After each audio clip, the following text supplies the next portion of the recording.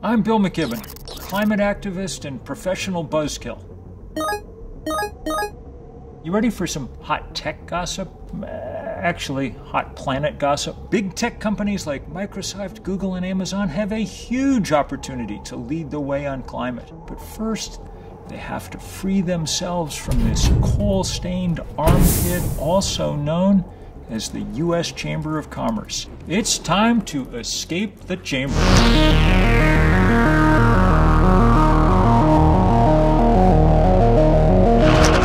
The Chamber of Commerce is a trade association, an after school club for corporations like these fine, upstanding businesses. It's super secret. The first rule of the Chamber of Commerce you do not talk about the Chamber of Commerce. They join so they can lobby the government to do what they want. You know, I scratch your back, you scratch out environmental regulations. In fact, the Chamber of Commerce has been anti climate for years, spending millions to kill green initiatives.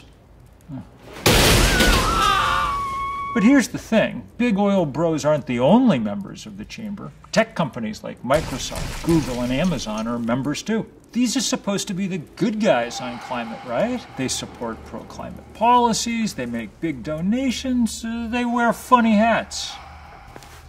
But by paying dues to the Chamber of Commerce, the tech companies are enabling the fossil fuel industry.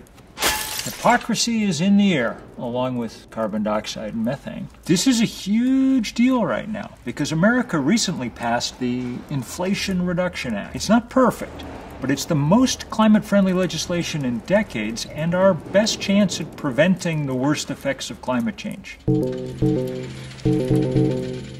So, any company that cares about climate needs to speak out against the Chamber's actions. Lead the way on climate policy. Better yet, leave the Chamber altogether. TLDR, leave and lead. And if you work for one of those companies, I have a message for you. Come here. Closer, closer, too close. You can help your company do the right thing. Sign a petition Spread the word among your colleagues. Make sure everyone knows how messed up this is. Because if we don't escape the chamber, good luck escaping the planet.